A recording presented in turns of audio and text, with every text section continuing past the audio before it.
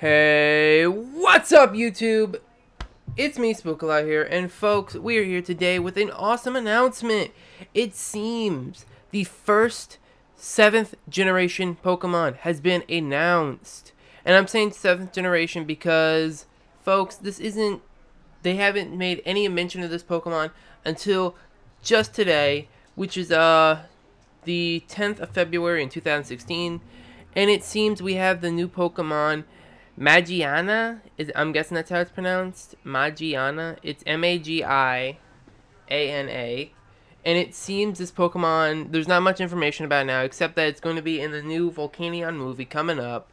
Which I think is a nice little thing. They're showing off 7th generation by showing off the last Pokemon of 6th generation that we've not been able to use or seen. So, pretty much, we've got Magiana, the man-made Pokemon. And I know what you're thinking, folks. Man-made Pokemon. That's that sounds kind of dumb when you think about it, because there's a lot of Pokemon that are already man-made. There's Porygon, the Porygon line. There's I wouldn't say Voltorb's man-made, but I don't know. There's Magnemite. Magnemite are technically a man-made Pokemon. There's uh trying to think of some other, like a lot of steel types that are kind of robotic in nature. Uh, Golurk is man-made. The Go- uh, Golett and Golurk are man-made Pokemon. So it's kind of weird that they just suddenly go, this is a man, the man-made Pokemon. Like this is the only thing that makes it stick out. Personally, design-wise, I am loving this thing's design. It looks so interesting. Also, something that kind of makes it really interesting, and I'm hoping we get to see it because if it is like I think, from looking at the design, folks, from looking at the design, what I'm thinking it's going to be able to do. Because if you look at if you look at the picture that we're providing you folks, you can see it looks kind of like a Pokeball. It's got like a Pokeball like dress, and then it's got like a little circular top to the part to the top part of it, and then it looks like at the very top, its little ear things kind of look like they clip, kind of look like a beetle's wings almost, like they could clip, they bend and clip in. So what I'm thinking is, folks, that the way this Pokemon could probably work is it doesn't it can change into like a Pokeball almost. I don't know how big from what I'm seeing. Um, it's one meter tall, so that's I, I'm I'm horrible when it comes to meters, folks. Even if it's like I, I can't remember what it is. I want to say it's like three feet, something like that, around three feet. So that's a three foot tall Pokeball. That's big, but still. And again, I could be saying it's completely wrong, but uh, the other thing that's interesting is they haven't announced a type yet, which I find very fascinating. Because, let's face it, folks, it's a man-made Pokemon. It's got gears coming out of its head. It's obviously part steel. But the interesting part of that is, what's the other type? Because it's obviously part steel, but the fact that they'd go out of the way of saying no one know we don't know what the type is yet, kind of interesting. It makes you think. It makes you wonder maybe this Pokemon is a steel fairy type. Maybe it's a steel electric type. Maybe it's steel. Um, that's really the only two types I see with this thing. It's either steel electric or steel fairy. Maybe it's a steel fire type. No, that really doesn't make much sense. I don't know. But still, like, the fact that this thing looks the way it does, it looks like it's a Pokeball. It looks like it could fold into a Pokeball like one of those little transformer toys you can buy when you were a kid which i think they still have but i don't think they do like the actual transforming transforming part which kind of makes me sad.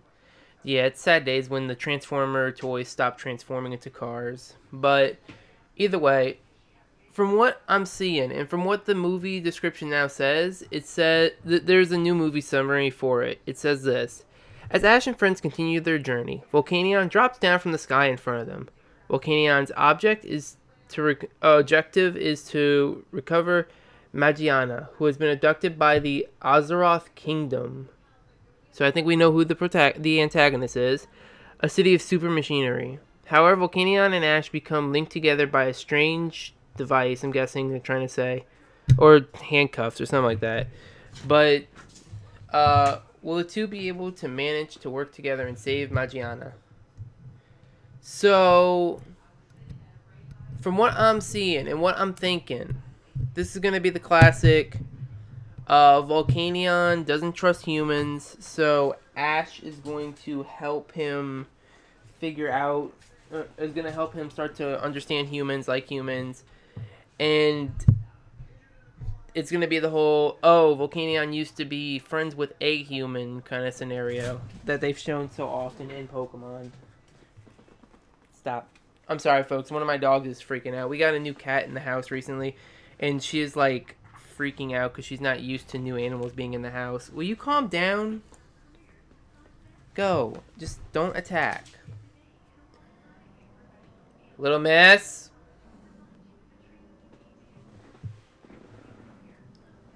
Sorry about that, folks. I'm sorry if you hear the growling. If you hear, yeah, if you hear barking in a moment. One second. Alright, sorry about that, folks.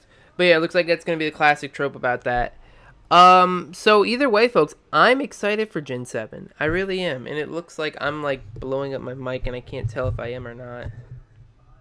Turn this down a little bit, maybe. Yeah, it looks a lot better.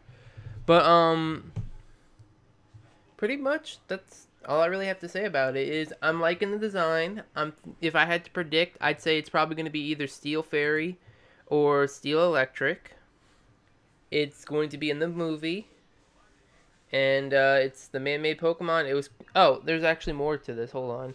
Created by humans 500 years ago, it possesses a metallic body. Text confirm, confirms it was made by human hands. It is a mythical Pokemon. So mythical Pokemon, for those of you who don't know, are like Mew, Jirachi, uh, Manaphy. Pokemon you don't. Pokemon are like the super rare Pokemon you don't get to see.